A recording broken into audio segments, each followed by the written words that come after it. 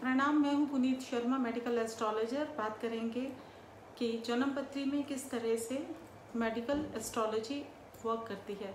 Medical astrology का महत्व तो बहुत ज़्यादा इसलिए भी आज के युग में है क्योंकि डिज़ीज़ बहुत ज़्यादा दिखाई देनी शुरू हो गई हैं, क्योंकि हमारा इम्यून सिस्टम बहुत बिगड़ गया है, जो एनवायरनमेंट है, वो भी हेल्थ फ्रेंडली नहीं रहा है, क्योंकि पोल्यूशन इतना ज़्यादा है, हर तरफ़ आप देखेंगे कि अगर हम स्वच्छ हवा में सांस लेने की कोशिश करते हैं तो शायद हम टॉक्सिन्स को ही इनहेल कर रहे हैं।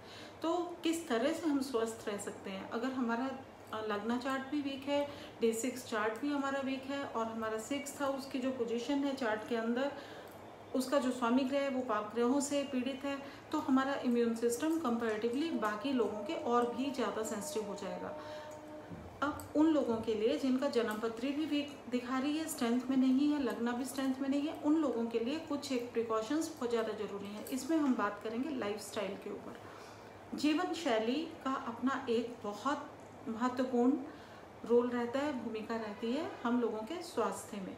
अगर हमें मालूम है कि वातावरण प्रतिकूल है और तो हमें अपनी डाइट के ऊपर संतुलित करने के ऊपर और आहार, विचार और व्यवहार तीनों ही चीज़ों की मर्यादा को समझना पड़ेगा और हमें नाप तोल के खाना खाने की आदत डालनी पड़ेगी। हमारा सात्विक भोजन जो है, नियमित रूप से और नियमित समय के गैप में हमें लेना शुरू करना होगा। अनुलोम विलोम, भस्त्रिका और प्राणायाम, ये बहुत ज़्यादा ज़रूरी है आज के डेट में।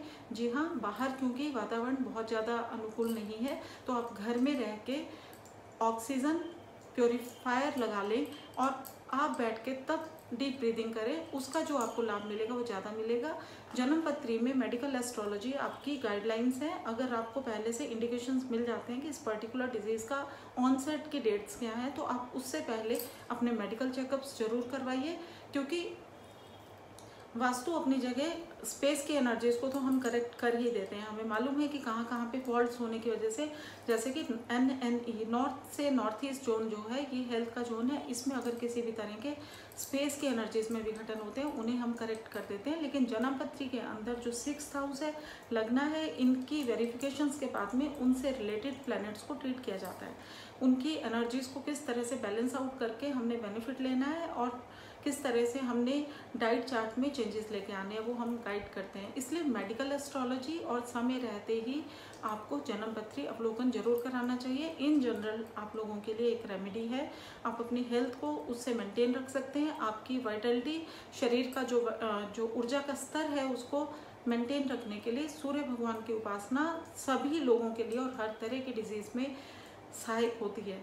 तो भगवान सूर्य के उदय का समय आपको मालूम होना चाहिए और उस समय में अगर आप उठ के भगवान सूर्य को अर्घ देते हैं, जल देते हैं, सूर्य की उपासना करते हैं या कुछ देर के लिए कुछ भी नहीं करके सूर्य की ऊर्जाओं में बैठते हैं, आप उनकी ऊर्जाओं से जो एक पॉजिटिविटी ले लेंगे, आपका पूरा दिन सकारात्मक हो जाएगा। दो जो प्लेनेट हैं, सूर्य और चंद्र, इन दोनों की ही हम लोगों की जन्म पत्री में एक हमारे मन का कारक है, एक हमारी सोल का, आत्मा का कारक है। तो माइंड बॉडी सोल की अगर हम बात करते हैं तो सूर्य और चंद्रमा की पावर्स उनकी एनर्जीज को कम से कम हमें इवनिंग जब हम चंद्रमा का उदय होता है तो चंद्रमा की रोशनी को भी एंजॉय करें और सूर्य जब सुबह उदय होता है तो सूर्य की रोशनी को भी हम एंजॉय करें। इस तरह से सूर्य और चंद्र जो प्लैनेट्स विजिबल हैं और धरती के बहुत ज़्यादा नज़दीक हैं और ये दोनों ही ऐसे प्लैनेट हैं जो हमारी ऊर्जाओं को, हमारे आभा मंडल को सबसे ज़्यादा प्रभावित करते हैं। तो हमें इनकी ऊर्जाओं को लेना है, इन दोनों की ही हमें नियमित रूप से दर्शन करने हैं और इनके दर्शन से जो अनुभूतियाँ हैं, उन्हें हमने महसूस करना है कि उससे हमें कितनी स्फूर्ति आई, कितना पॉजिटिविटी आई। रेगुलर एक्सरसाइज जो है, ये भी हमें हेल्प करती है हर तरह से। और जन्म पत्रिका अवलोकन मेडिकल व्यू पॉइंट से अगर आप करवाने के लिए आते हैं तो हम समय रहते आपको गाइडेंस देते हैं। एक्सपर्टाइज फ़ील्ड में मैंने डायबिटीज़ के ऊपर भी काम किया, थायराइड पे काम किया। हिस्टोसाइटोसिस के पेशेंट्स मेरे पास रहे हैं, उन्हें मैं ट्रीट कर चुकी हूँ। आर्थराइटिस है या किस तरह की भी समस्याएँ हैं, आप उसके लिए, समाधान के लिए हमसे कांटेक्ट कर सकते हैं। Nine eight double nine two eight nine one three five पर आप कॉल करके अपॉइंटमेंट फिक्स करा लीजिए पेड कंसल्टेंसीज के लिए।